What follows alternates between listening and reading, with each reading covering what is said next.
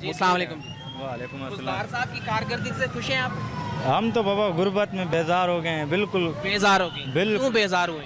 अच्छी नौकरी थी पहले रेस कोर्स में कराची में। अभी हम मालिश का काम वहाँ से बोलते हैं किरोना है इधर मालिश का काम कर रहे हैं हम। कितनी देर से कर रहे हैं? तकरीबन अभी ये दो महीने हो गए हैं तकरीबन। कहाँ पे रहते हैं? इधर ही रेमियर में। कितने पैसे कमा लेते हैं? यहाँ पे कभी लगता है काम कभी नहीं लगता। वहाँ तो अठारह हज़ार तनख्वाह थी मेरी शुरू शुरू कहाँ पर? कराची रेस कोर्स में। कराची में? जी हाँ। कराची से वापस क्यों आ गए? वो बोला लॉकडाउन कर दिया बंद कर दिया तो रेस कोर्स वालों ने यहाँ पे आ गए? हाँ यहाँ पे शादीशुदा है? जी हाँ। कितने बच्चे हैं? दो बच्चे हैं। गुजारा चल रहा है। नहीं चल रहा बिल्कुल महँगाई है पेट्रोल कहाँ है चीनी कहाँ है एक सौ दस रुपये सत्तर रुपये चीनी थी। अच्छा। हाँ अभी कहाँ है घर के खर्चे पूरे नहीं होते बाबा। जी हाँ। इमरान खान साहब कहते हैं कि आपने घबराना नहीं है तो आप क्या कहते हैं? अभी हम फुल घबरा गए हैं। फुल घबरा।